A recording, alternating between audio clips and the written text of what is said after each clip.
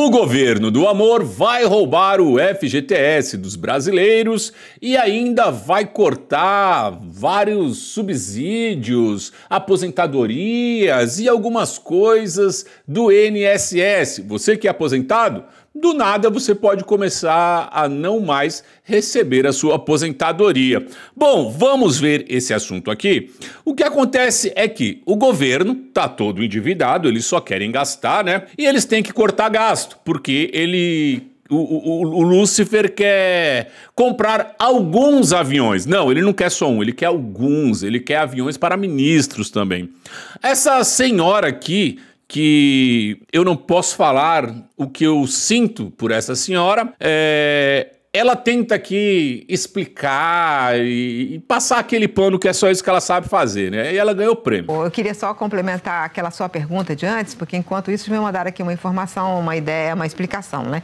Para o dólar é muito difícil explicar sempre o dólar. É que. É que o dólar bateu 5,70 hoje no, no, dia da gravação desse vídeo, mas não tem explicação mesmo. Não. Quando cai muito o petróleo, cai muito outras commodities, é, pressiona as moedas dos países é, que vendem commodities. Portanto, isso seria uma das explicações para a alta do dólar. Mas vamos lá no que. É, nunca é nada relacionado ao governo, tá? E você perguntou que é por onde o governo, quer dizer, eu fui apurar exatamente por onde que o governo vai preparar esse pacote de gastos. Primeiro vai ser logo, anunciado logo, porque está na mesa do presidente e porque eles querem fazer esse ano para valer no ano que vem.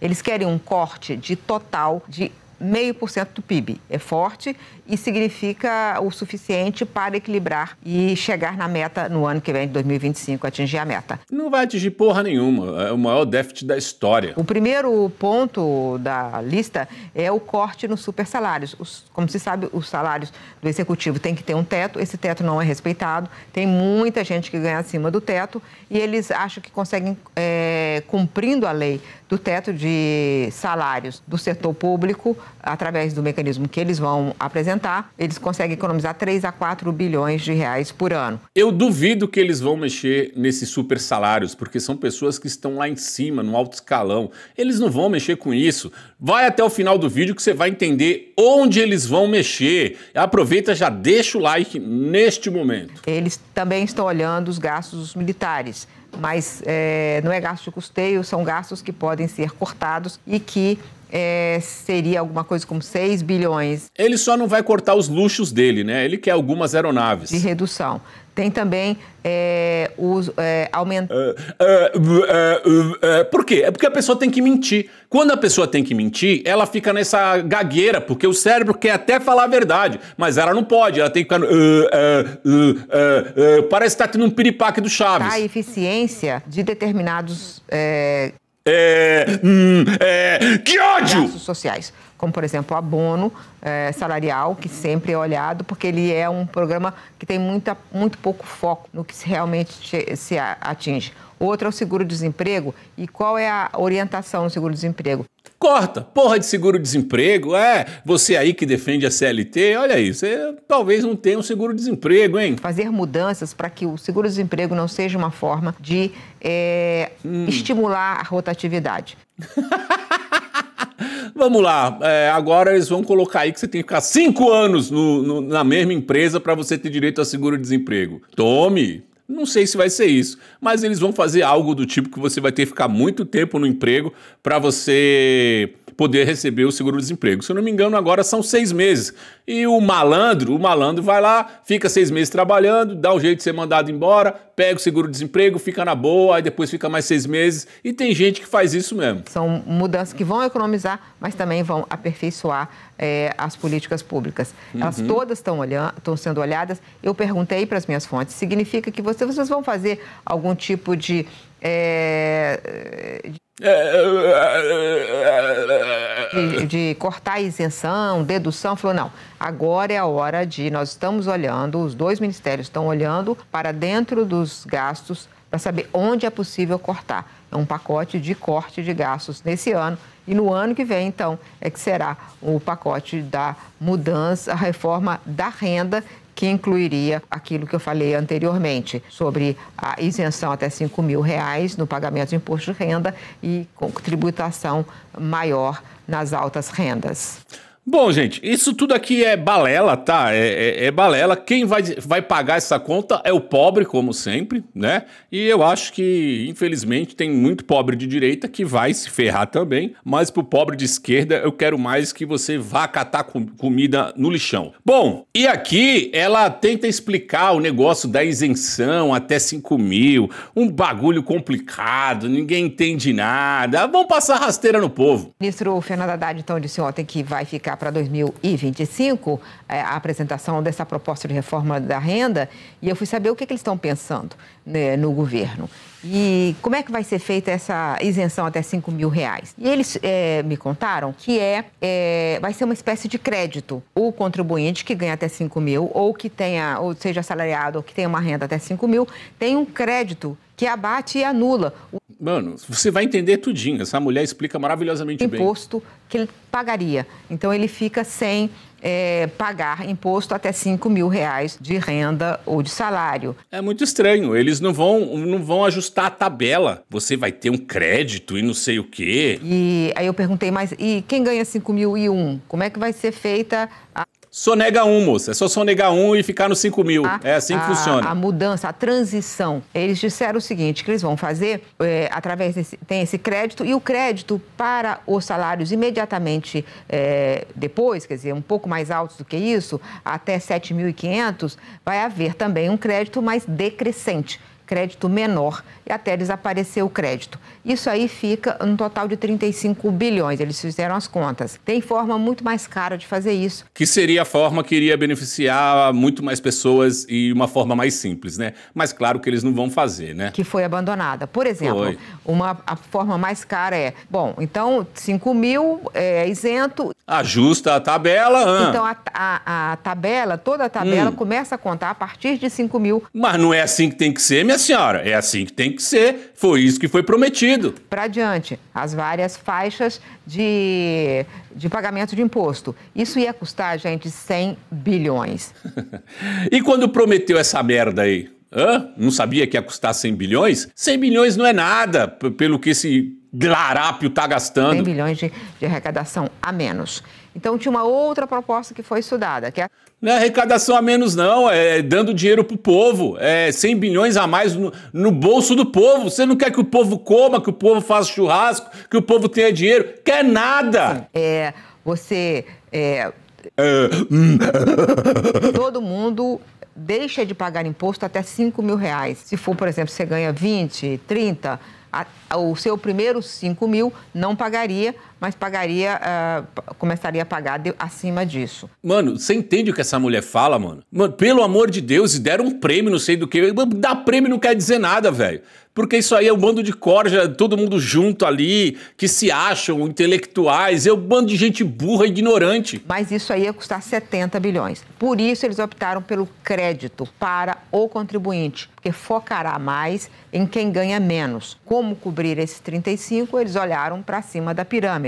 Hum, tá. Vão cobrar sim, vão cobrar dos mais ricos, vão cobrar dos super salários, vão cobrar não sei do que. Mano, a verdade é que eles vão fazer é isso aqui, ó. Isso aqui é a verdade, ó. Quem poderia imaginar que o INSS quebrado, com um rombo de centenas de bilhões, com um orçamento trilionário, coberto com dinheiro público porque ele não se sustenta, precisa agora fazer corte em benefícios. O INSS é uma pirâmide, tá? E essa pirâmide não se sustenta. Tem muita gente aposentada com pouca gente trabalhando e ele vai quebrar em dado momento. Pois é, são 800 mil beneficiários na reta de cortes autorizados pelo Lula. A expectativa do governo é poupar mais de 19 bilhões Olha lá, olha da onde vai vir aí o dinheiro, olha da onde vai vir os cortes. Super salários? Não, é de você, pobre otário. Conseguir cumprir o orçamento de 2025. Lembrando que todo e qualquer benefício pode ser cortado, tá? Ó, auxílio doença, aposentadoria por tempo de contribuição, é, você trabalhou a vida inteira aí, de repente você pode perder. Aposentadoria por idade, é, pensões por morte, é, benefício de prestação continuada, todos esses benefícios aqui, de repente, podem sumir. Mas o foco agora vai ser auxílio-doença, aposentadoria por tempo de o foco agora. Contribuição, aposentadoria por idade, pensão por morte e principalmente benefício de prestação continuada. Pois é, se você se enquadra nesses benefícios, você pode ficar sem o seu dinheiro da Previdência Pública. Mas isso não é de assustar, porque eu aviso aqui há muito tempo que o INSS não se sustenta e que temos vários problemas estruturais, desde o déficit bilionário até a questão demográfica, que não pode ser resolvida aquilo que eu falei da pirâmide, né? A base tem que ser maior. Olha como é que está hoje. Isso aqui não se sustenta. Mas o governo deveria cortar lá de cima primeiro, antes de cortar do povo aqui que é mais pobre, né? Como assim? O problema demográfico é facilmente explicado pela taxa de natalidade que despencou. E isso significa que teremos mais idosos beneficiários e menos adultos ativos contribuindo.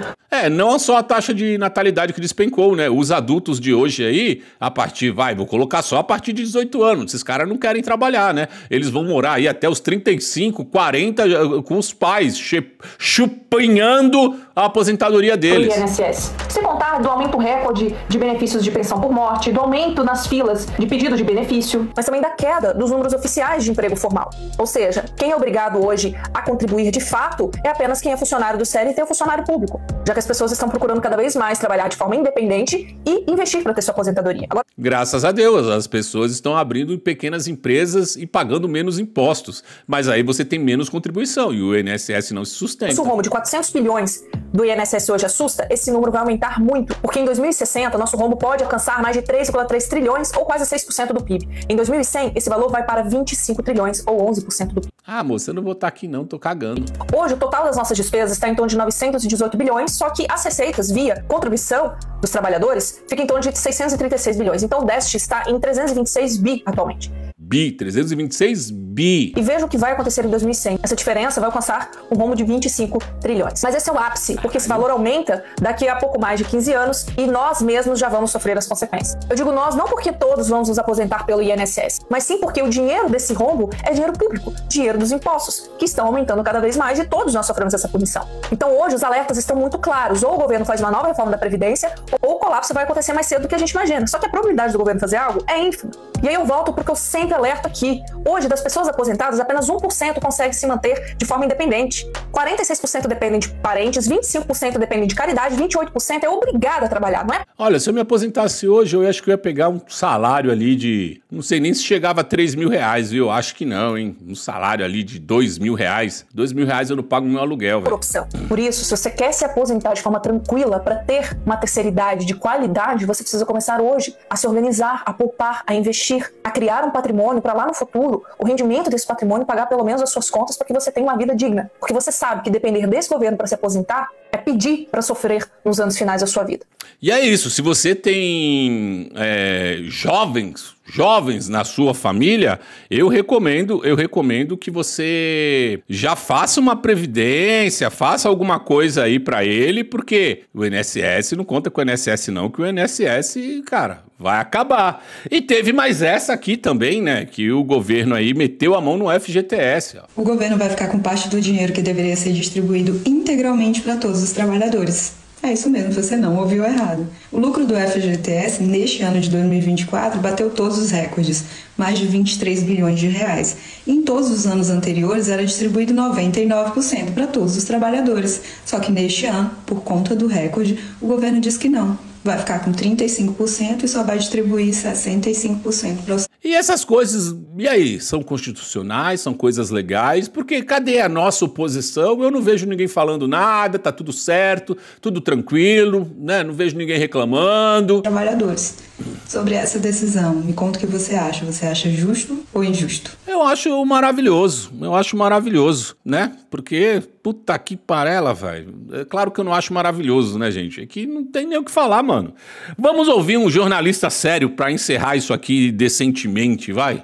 Costuma-se dizer que uma boa premissa quando alguém cai numa armadilha é, em primeiro lugar, tratar de entender que tipo de armadilha é essa. Como é público e notório, o governo brasileiro está dentro de uma armadilha. Aquela na qual os gastos sempre sobem mais do que a receita. Hoje, registramos um reconhecimento público por parte do governo dessa ardilosa realidade. Aspas. Não é possível resolver o problema fiscal do Brasil pela ótica da receita, fecha aspas, disse hoje a ministra do Planejamento Simone Tebet. Ocorre que o pior da armadilha foi criado pelo próprio governo, ao vincular gastos a receitas e a proceder à política de valorização do salário mínimo que expande ainda mais os gastos sociais. Mas o governo não parece disposto a mexer na armadilha que criou para si mesmo. A mesma ministra adiantou que vai revisar gastos, mas que o presidente Lula interditou, foi a palavra dela, qualquer debate sobre valorização do salário mínimo, por exemplo. Ou seja, proibiu qualquer conversa sobre as políticas que ele mesmo criou. Sobrou para os ministros repetir que vão revisar gastos estruturais, vão mexer nos super salários de funcionários, etc, etc, por aí vai. E que depois das eleições, sempre tem alguma coisa na frente, o governo vai anunciar como vai cortar gastos. Cortes esses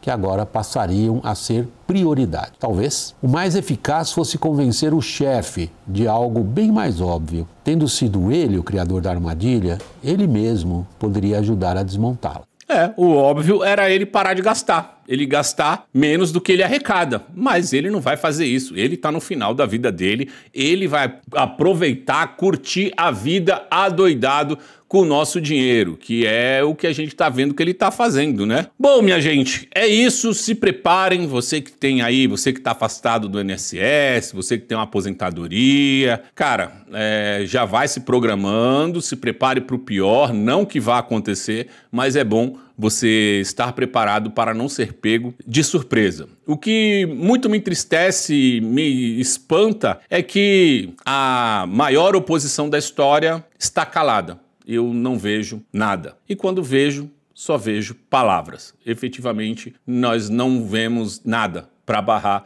essas atrocidades que o Lulúcifer faz com todo mundo. Deixa o like nesse vídeo, compartilhe em suas redes sociais, comenta alguma coisa aí, verifique a sua inscrição no canal e se não for inscrito, se inscreva. Por enquanto é isso e a gente se vê. Fui! Conectado.